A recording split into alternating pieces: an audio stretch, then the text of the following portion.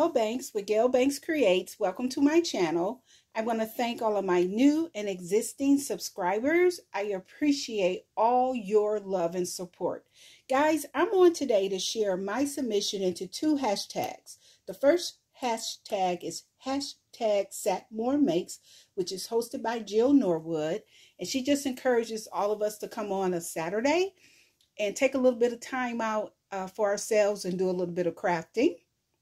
And the other hashtag is hashtag Two Crafters One Design, which is hosted by Melissa at Moe Creations, Gloria at Girlias Cards, and Lisa at UCY I'm a Diva.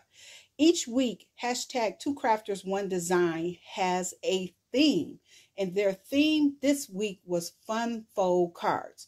And guys, I will leave links to all of the ladies' YouTube channels below. Please follow the hashtags to see what other wonderful crafters have created. And hey, you can join in on these hashtags as well.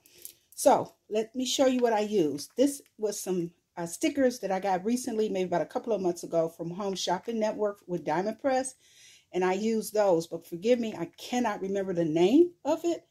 Um, but this is, I used these little dots right there.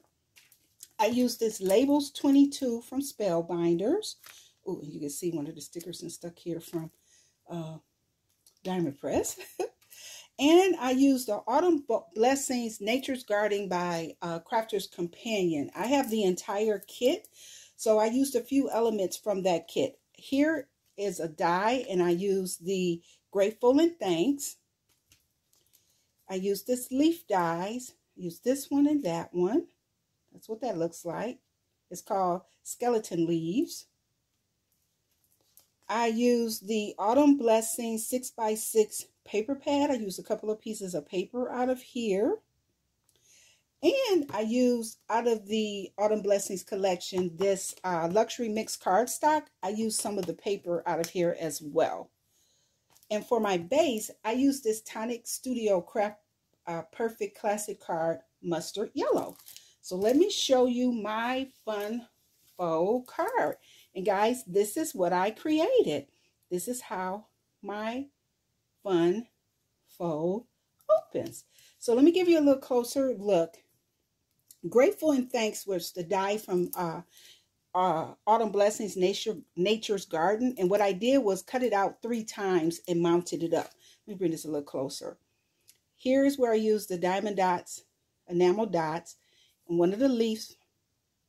And all of the paper either came out of my stash or from the Autumn Blessings uh, luxury linen cardstock or the 6x6 paper pad. So you open it up. That's how that looks. And those are the leaves. They look like maple leaves to me, but I could be wrong. The enamel dots. Then when you open it this way, here is where I put something so you could write either stamp a sent, uh, sentiment greeting or you can handwrite something because I didn't want to put anything on this side of the card because I thought the paper was just too pretty to put anything in here. Isn't that pretty paper? And this is that classic card from Tonic. So here is my Fun Fold card.